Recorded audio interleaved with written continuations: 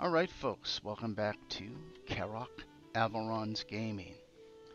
We're back in Valheim and today I have another seed discovery video for you. This was recommended to me by one of my viewers. Um, and he was 100% correct. This seed is phenomenal. This seed I'm ranking a 10. Um, not solely because it has maypoles, but because of the boss locations and the trader and the resource distribution. It's overall a fantastic seed. This is a great seed for all of you guys out there that may be just coming back in, wanted to do a speed run.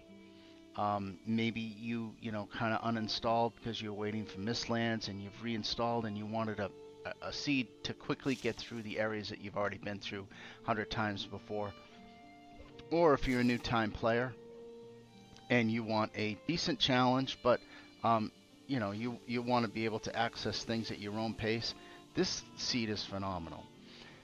If you're new to my channel, um, a lot of the Valheim content that I do is seed discovery, and I look for maypoles specifically that are naturally occurring on the seeds.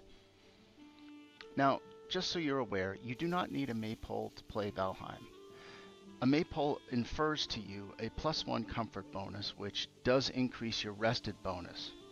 Now, the rested bonus is important because it does help you specifically in boss fights.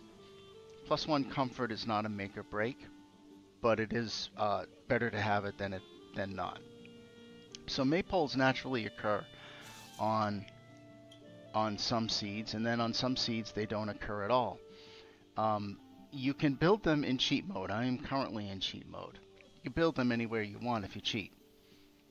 In addition to that, from time to time, the developers um, do release their, um, I think last year they called it the Mayday event, where they allowed you to build maypoles anywhere that you wanted. So the reason I do this content is is because maypoles are one of the only one of the only unique items in Valheim that are randomly generated. Okay, the map is always randomly generated, but not every map has a maypole. So anyways, before I get going on this seed, let me say thank you. Thank you for taking your time to watch my content. I really appreciate it. Please smash that like button. Please subscribe. Please share the video. All that stuff really helps the channel out, and I really, really appreciate the support. Thank you. So, this seed actually has two maypoles here's the first. Okay, this one is okay. It's not one that I would normally do a video on because it's kind of in the middle of a meadows.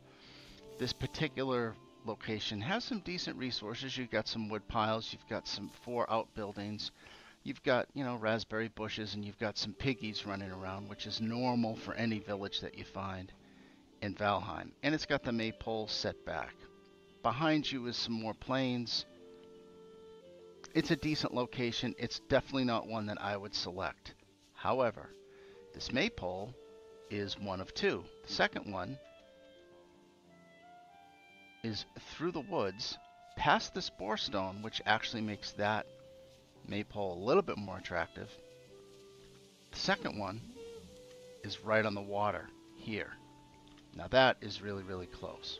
Okay, that's an awesome maypole in and of itself, if this was the only maypole on the seed, I would have done a video on this anyways because of its proximity to the water. That's always worthy of a video in a, in a build, in my opinion. Now, remember the mini map. It looks like the two camp icons that I placed on the mini map are far away. They're actually much closer than than it appears. Meaning th these two maypoles are pretty damn close together. But this one is the the, the, the star of the show here this ahead of us confers, I'm sorry, uh, opens up into uh, open ocean. Okay, that's all open ocean down there. So the the the camp here for this maypole, uh, you know, it's it's um, boring. It's got most of your normal stuff. It's got some raspberry bushes. It's got a couple of boars running around. You know the drill. If you've played Valheim, most villages have have that. This maypole is exceptionally close to the water, which is a positive. Now, the, uh, this is probably one of the best seeds I've ever seen, and it was recommended to me. Um, why is that? It's not just because this maypole is close to the water or there's a second one or there's a boar stone between the maypoles. It's because the bosses are all on the main island. Okay, and they're in sequential order as well, meaning you've got Eikthyr, then you've got uh, the Elder, then you've got Bonemass, and you've got Moder, and then Yagluth. You also have a trader on the main island as well. This seed is phenomenal. I would actually rank this 10 in my book. Now, we'll check out the, the, the, the, map generator in just a minute so you can see it for yourself. Who would play on this? You could really do anything here, although I think this is the be a better seed for a solo a speed run. Um, I could see this seed being really good for someone coming back to Valheim. They wanted to start over maybe when Mistlands drops, and they, you know, they they don't mind going through the old content again, like the Dark Forest and stuff, but they want to do it quickly. They don't want to dwell there. They just want to get to Mistlands. This would be a quick and easy build for them. And for a new player, this is a solid seed for you to start on, get your feet wet, learn the ropes. Um, and you've got a maypole here on the ocean. You can go sailing if you want. Um, overall, I think this seed is fantastic. But let's take a look at the map. Oh, that's my that's my my YouTube channel. Well, my, what I was look what I what I was looking at today for YouTube videos. Anyways, here's the seed. I'll leave this in the description and I'll leave this in the comment a comment below. Actually, I just leave it in the description. you can you can leave the comments. Thank you.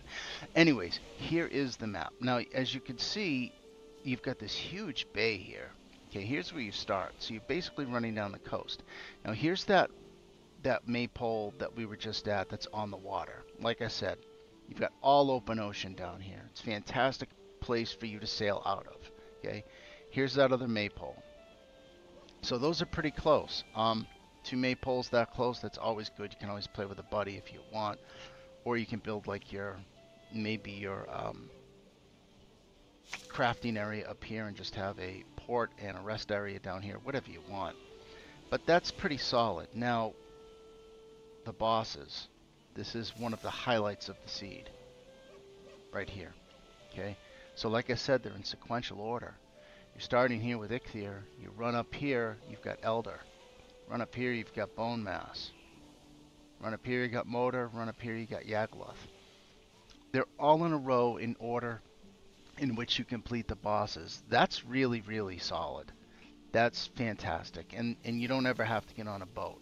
Now, this Yagluth might be a little challenging because you've got to once you do Moder, I'm assuming you probably, what I would do is I'd probably build a just a quick portal up here in one of the ruins, um, fortify that, clear out Moder, and then just drop down here and then start working working the plains. But all of these bosses right in a row, that's fantastic.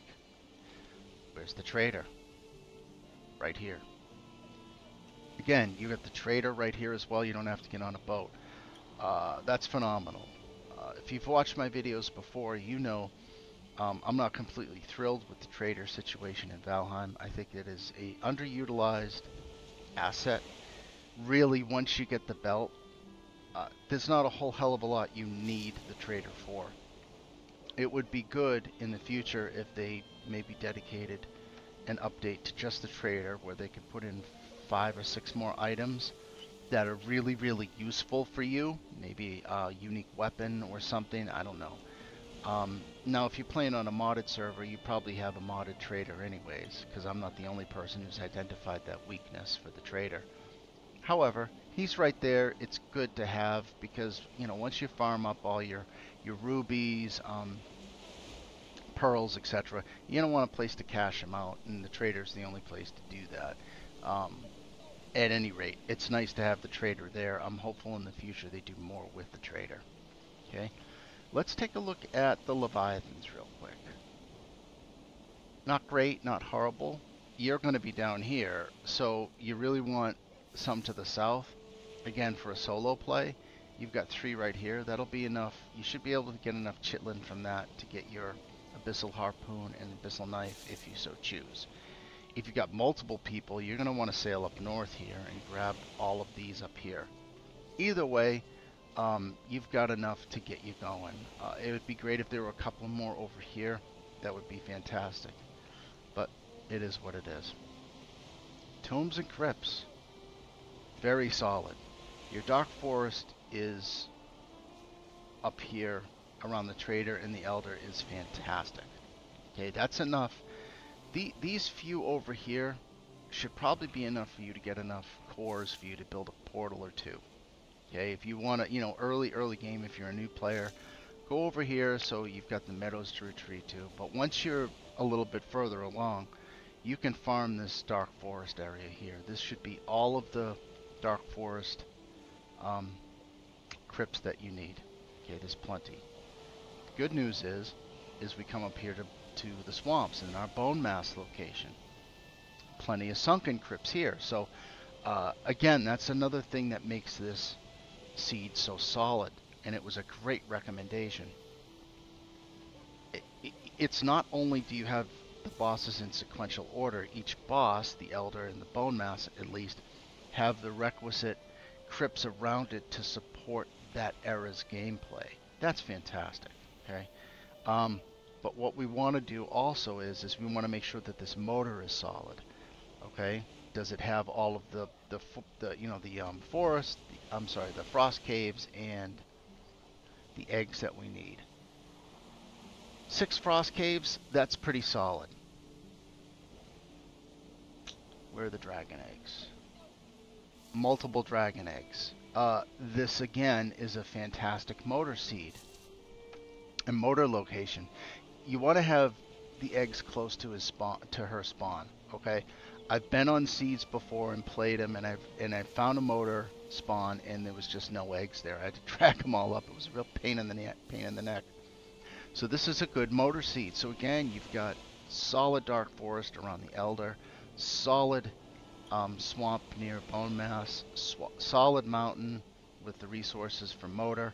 Now let's take a look at Yagluth. Let's see how we're doing up there. Um, let's get rid of our dragon eggs and our frost caves. And let's look at totems. It's okay. Um, you've got four camps here where you can get totems. That's not bad. It's not fantastic though. It'd be great if there were more in here. Um, plenty of tar pits though, so that's nice. You can get your resources for that. Um, that that's a, still a pretty good Yagluth location. I mean, considering where you're located, you can run to it um, from your base. Uh, the fact that it's got these totem locations, it, it's good enough. I think overall that's pretty good. Um, what else can I show you? Let's take a look at the bee situation. Plenty of bees. Especially around here um, on your spawn. Um, this little chunk right here should be all the bees that you ever need for this game. Okay, you build a put them in your farming area, whatever, you're good to go. There's a few down here by the maypoles, it's fine. But you got plenty around the spawn to get your um, honey early, which is is is is a very important resource that you want to grab. Um, hmm, useful runes. There's that boar stone. Okay, right in the middle of these two. Okay. Now, uh, that's it. Okay, so you don't have any. I mean, you've got this one up here. Ideally, what you want to be doing is is I, I would think that you want to get a boar farm going quickly. That this may, you know, so that's a, one small issue on this seed.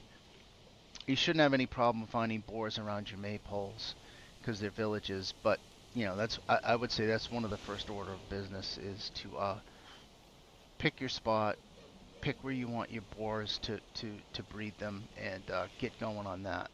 Now, if you don't do that, you just want to hunt them. There's plenty of boars up here.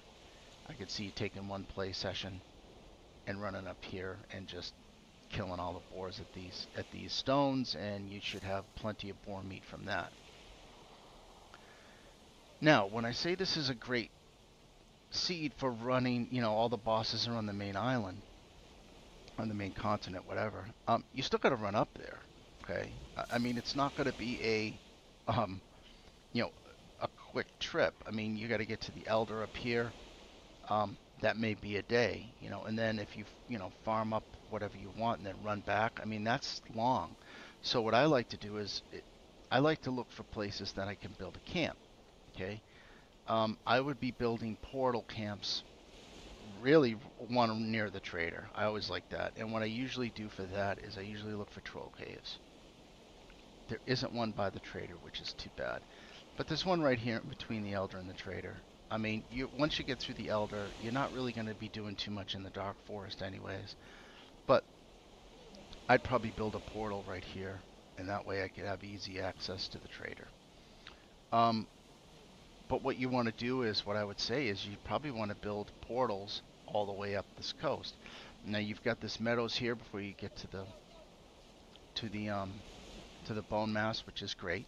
And you've got a little meadows here before you get to Moder. Now remember, you're going to have to be transporting these ores, okay? You're running them back. That's going to be a long haul to your base. So uh, it, it, it's, yes, you can run to the bosses, quickly do them. But if you're going to transport a lot of ore and you're really going to commit to the seed as your main seed and you're going to build, you're going to have to sail, okay? Because, uh, I mean, while the bosses are all on the main island, they're fairly removed from your location. You're, you're way at the southern tip, and you know the bosses. You, you have to go north each time. It's further away. That's the one weakness here, but it's really not that big of a weakness at all. Overall, this is a fantastic seed.